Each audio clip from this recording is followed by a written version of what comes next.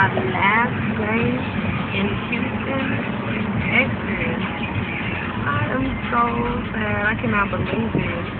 I have so many mixed emotions. But 24 hours from now, I will be on the plane. Hallelujah! Well, I love you guys. I'll see you. I'll miss you.